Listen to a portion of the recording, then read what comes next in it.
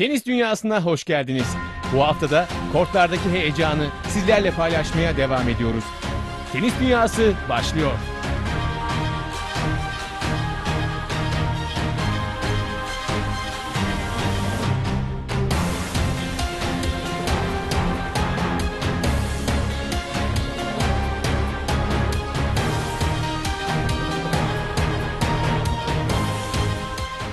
Majesteleri lakabıyla tenis severlerin sevgisini kazanan Federer, 1981 yılında İsviçre'nin Basel şehrinde dünyaya geldi. Daha 6 yaşındayken tenise başlayan Federer, 12 yaşına kadar futbol ve tenis sporunu bir arada yaptı. Federer daha sonraları futbolu bırakarak tenis sporunu seçti. Federer neden tenis sporunu seçti bilinmez ama ünlü tenisçi bu kararıyla kortların vazgeçilmez ismi olma yolundaki ilk adımını atmıştı bile. Federer'in genç yaşta başarıyı yakalaması kısa sürdü. İsviçreli tenisçi 14 yaşında ulusal şampiyonluk kazanarak İsviçre Ulusal Tenis Merkezi tarafından kabul edildi. Ulusal Tenis Merkezi İsviçre'nin Cenevre Gölü kıyısındaki bir bölgesinde bulunuyordu. İsviçre'nin Basel şehrinde yaşayan Federer, ailesinin yanından bir misafir ailenin yanına, İsviçre'nin Fransızca konuşulan bölgesine taşındı. İlk aylar Roger için oldukça zor geçti. Federer merkezin en küçük tenisçisiydi ve genç oyuncunun Fransızcası da iyi değildi. Misafir ailesi onun sıkıntılı zamanlarında yanında oldu. Öyle ki Federer önemli bir tenis turnuvası olan Amerika Birleşik Devletleri'ndeki Orange Bowl'da çeyrek finale ulaşarak ilk uluslararası başarısını elde etti. Fransızcasını geliştiren genç oyuncu yeni hayatına uyum sağlamıştı. Federer 1996 yılının sonunda İsviçre tenis sıralamasında 86. sıraya ulaştı.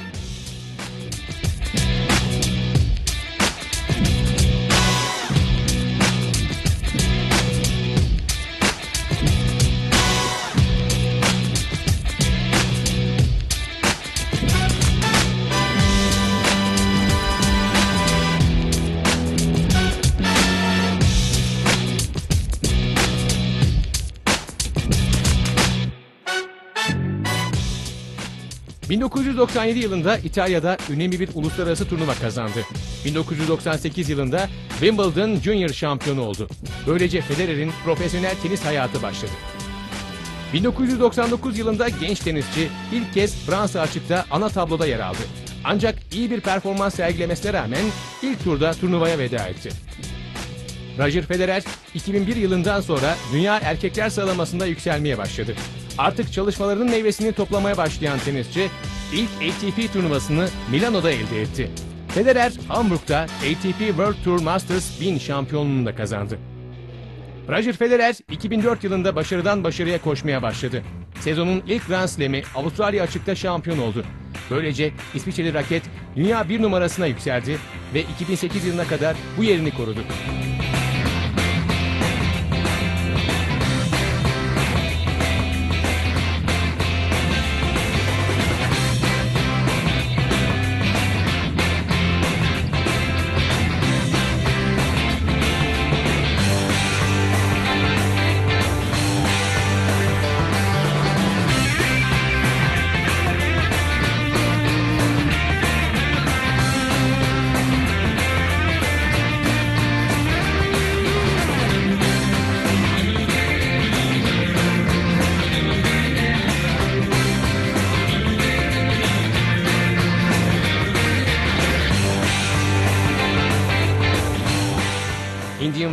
Ve Hamburg'da zafer kazanan Federer, Fransa açıkta ise 3. turda eğlendi.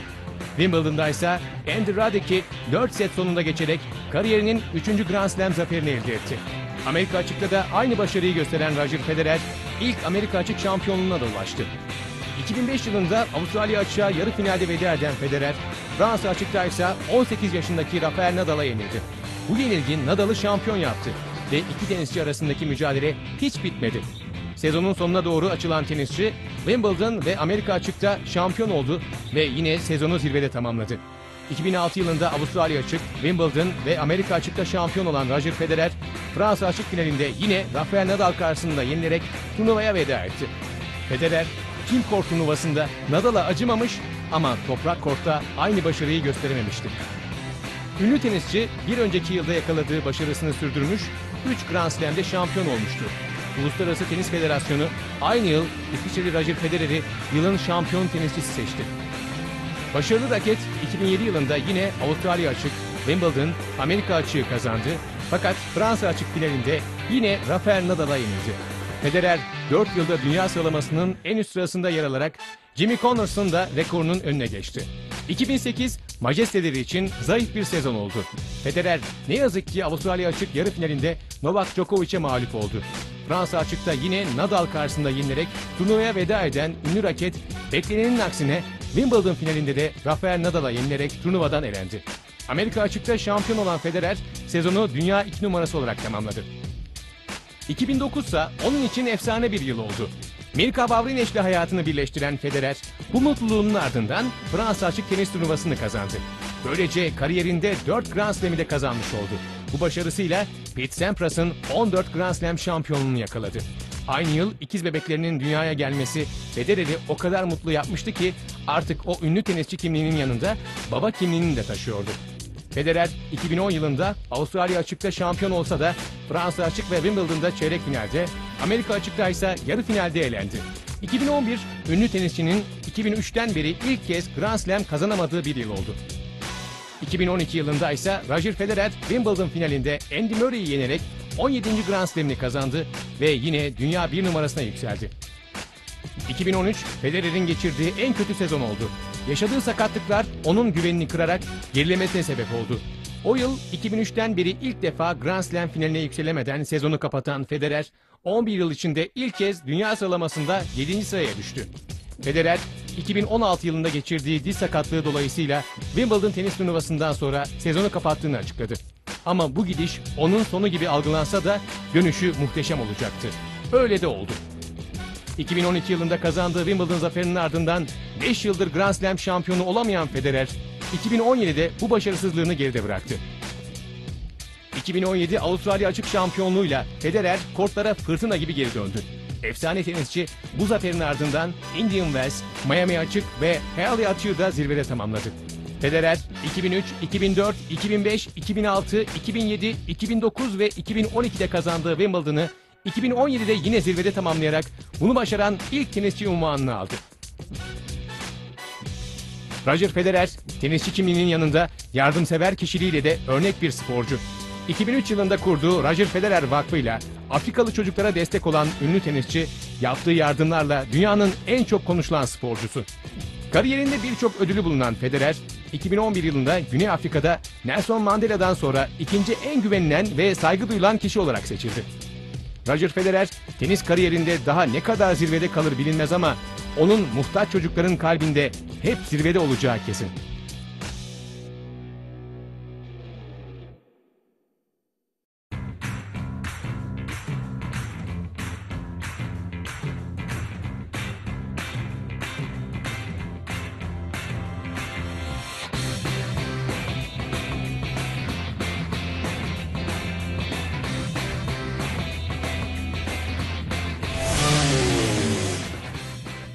Ben Selin Önç, milli tenisçiyim.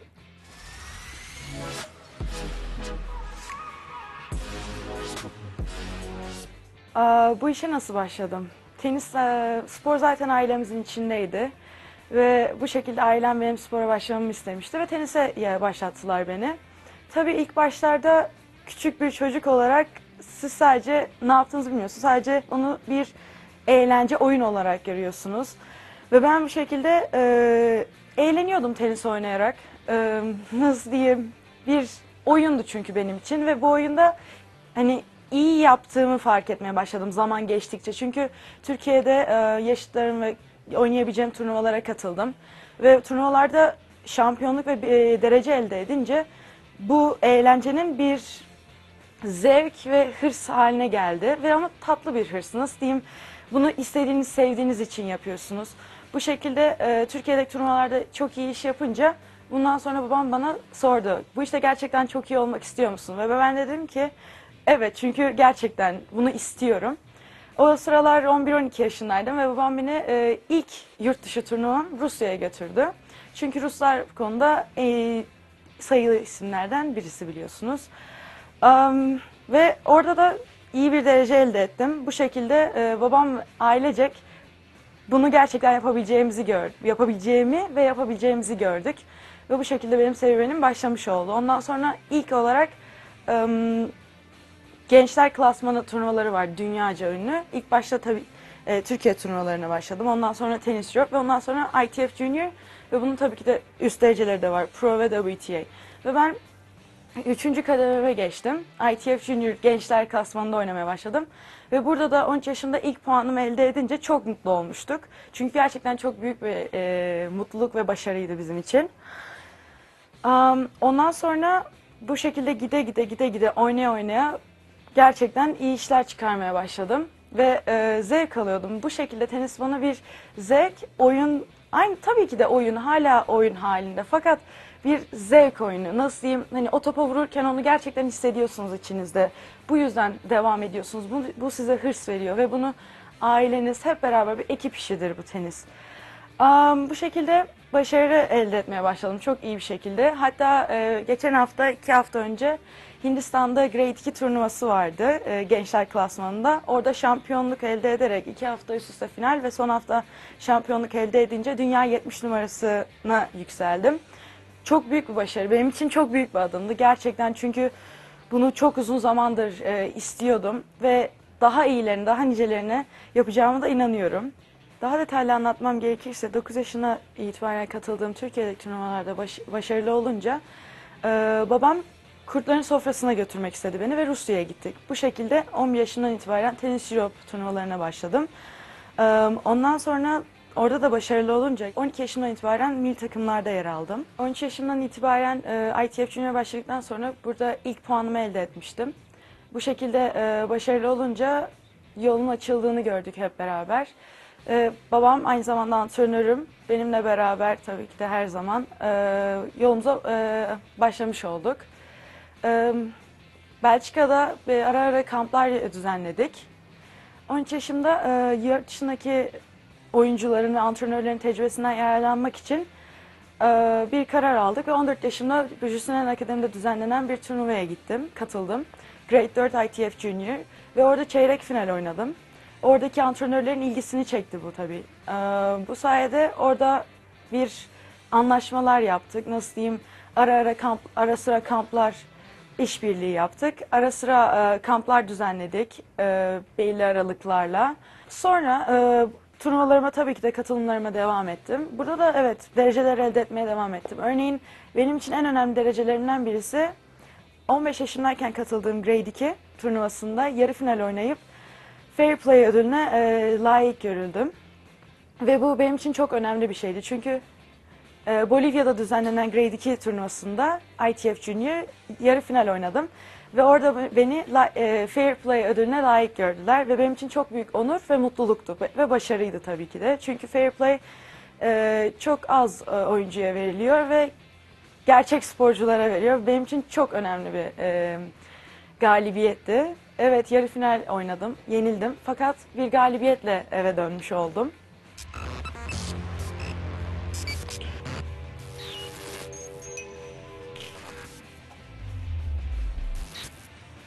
Yepyeni bir tenis akademiden hepinize merhaba sevgili tenis severler.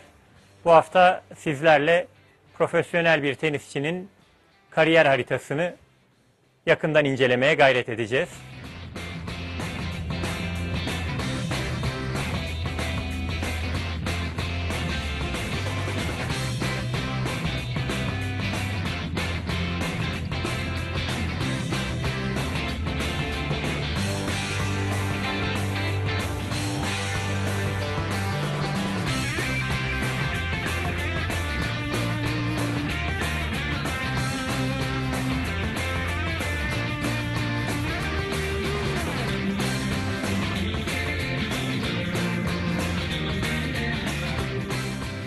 Son haftalarda konuk olarak aldığımız Başak Eraydın ve Ergi Kırkın'dan sonra sizlerden gelen sorular benim çocuğumun da o seviyede bir tenisçi olması için neler yapmam lazım şeklindeydi.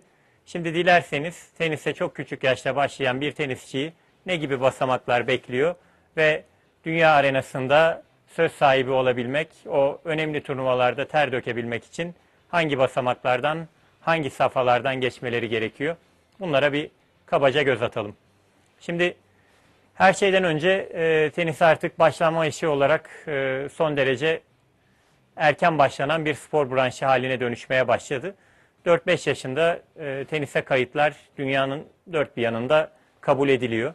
Burada 4-5 yaşındaki çocuğunuzun tenise başladığı yani salt tenise başladığını düşünmek çok doğru bir varsayım değil. Çünkü e, o yaşlar henüz e, tenis sporunun birebir canlandırılabileceği yaşlar değil ama top raket ilişkisi, el göz koordinasyonu, genel motor becerilerin yani fiziksel becerilerin, dengenin, çabukluğun, çevikliğin gelişmesi için e, önemli yaş grupları bunlar. Biz bu yaşlarda çocuklara öncelikli olarak tenisi sevdirmeye, sporu sevdirmeye, bir sonraki antrenmana can atar şekilde korttan göndermeye, bir diğer taraftan da az önce bahsettiğim motor becerileri geliştirmeyi hedefliyoruz. Burada her geçen gün tabii işimiz biraz zorlaşıyor. Çünkü rekabet ettiğimiz şey, spor branşları olarak rekabet ettiğimiz şey teknoloji. Ve teknoloji çocukların elindeki enstrümanlarla çok hayal dünyalarını provoke edebilen farklı oyunlarla e, çok daha cazip imkanlar sunsa da buralarda biraz ailelerin desteğine ihtiyacımız var. Çünkü çocuklarının gelişebilmeleri sadece fiziksel açıdan değil, zihinsel açıdan da, sosyolojik açıdan da, psikolojik açıdan da gelişebilmeleri için e, sadece tenis değil belki ama bir spor branşına yönlenmeleri son derece önemli. Böyle durumlarda da çok sık rastlanan hani evdeki o e, tablet oyunlardan kopmak istemeyen çocukların bazen e, spora gitmek istemediklerine dair söylemler geliştirdiklerini görebiliyoruz ama çoğu geldiği andan itibaren çok keyif alıyor ve e, giderken ki çocuğa sorsanız tekrar gelmek istiyor. O anlamda burada velinin biraz daha ısrarcı olması ve belli bir süre e, sporu destekler pozisyonda kalması önemli diye düşünüyorum. Çocuklara sporu sevdirdik. Burada e, iyi grup ortamlarının, eğlenceli yapıların e, ve çocuk psikolojisinden, pedagojisinden anlayan e, deneyimli eğitmenlerin eşliğinde bu sürecin başlatılmasının önemli olduğunu da vurgulamakta fayda var. Çocuğu aldık artık bir 7-8 yaşına getirdik. Yavaş yavaş tenis oynamaya başladı. Daha hani file karşısında e, partneriyle, arkadaşıyla veya hocayla topu çevirebilecek ve temel tenis tekniklerini öğrenebilecek seviyeye geldi. Bu altyapıya sahibiz. Yine her şeyden önce severek geliyoruz ve büyük bir iştahla tenis oynuyoruz. E, tenis rekabet oyunu. Bu yaştan itibaren bir rekabet oyunu. Rekabet demek ille gidip birini yenmek demek değil. Bu yaşlardan itibaren çocuğa kendini yenmeyi öğretmemiz lazım. Ve bunu çok keyifli e, bir oyun tadında ver, verebilmemiz lazım. Bugün öğretmeniyle oynarken 5 topu içeri atabildi. Bir sonraki gün hedefi 6 yapmak. O çocuk o topa vururken kendini geliştirmek ve mevcut seviyesinin üzerine bir şeyler koymak amacıyla süreci değerlendirmeli. Çünkü bu e, tatlı bir rekabet duygusunun da onda yer etmesini ve ilerleyen dönemlerde de bu rekabet hazzıyla aslında birçok şeyleri başarabileceğine keşfetmesini sağlayacak. Yaşlar geldi işte 8'e 9'a artık yavaş yavaş e, resmi turnuvalar oynanmaya başlanabiliyor. Türkiye Tenis Federasyonu olarak bizim iCourt diye bir i-kort şeklinde yazılan bir yazılımımız var. E, bu yazılım üzerinden oyuncular başvuru yapıp e, gerekli bilgilerini ekleyerek lisans çıkartabiliyorlar. Ve bu lisans işlemi neticelendiğinde kendilerine bir lisans numarası ve şifre geliyor federasyon tarafından. O lisans numarası ve şifreyle e, ICOR sistemi üzerindeki turnuvalara kayıt yaptırabiliyorsunuz. Ve çocuğunuz ilk defa bir turnuva deneyimi yaşamaya böylelikle e, imkan yaratmış oluyor. Türkiye'nin dört bir yanında farklı turnuvalar var ama küçük yaşlarda turnuvaları seçerken çok uzun seyahatlerden uzak durmakta fayda var. Özellikle 7-8 yaşındaki çocukları bulunduğu ilden çok uzak mesafeler götürerek turnuva oynatmak e, farklı anlamlar yüklemelerine neden olabiliyor. Aile benimle birlikte geldi. İşte o kadar yol teptik, işi gücü bıraktılar. E, demek ki bu çok önemli bir şey. Benim burada mutlaka kazanmam lazım gibi yanlış e, düşünceler içine, yanılgılar içine girebiliyorlar. Buralarda tabii ebeveynlere çok önemli roller düşüyor. Biz bazı akademi bölümlerini sadece velilerimize ayırdık. E, dikkatli izleyicilerimiz hatırlayacaklardır. Bu e, bu süreci doğru yönetebilmek adına yakın dönemler e, anne babanın normal gündelik yaşamlarından çok uzaklaşmadan çocuklarına müsabaka imkanı sağlayabileceği turnuva yapıları tercih edilmeli.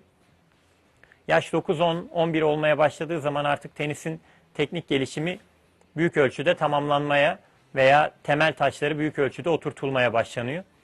Ee, 12 bizim için önemli bir dönemeçtir. Çünkü 12 yaş e, bilimsel olarak bakıldığında merkezi sinir sisteminin gelişimini büyük ölçüde tamamladığı yani yeni becerileri olan e, öğrenme yatkınlığının bir nebze de olsa yavaşladığı bir evredir. Dolayısıyla hem motor beceri gelişiminde hem temel tekniğin gelişiminde biz 12 yaşa kadar yapılan antrenmanı çok önemseriz.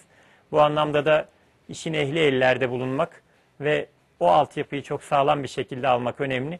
Bu yaşlarda kazanılan maçlardan daha çok önemli olanı bireyin tenis oynadıkça gelişebileceği bir altyapı üzerinde tenisi öğrenmiş olmasını sağlamak.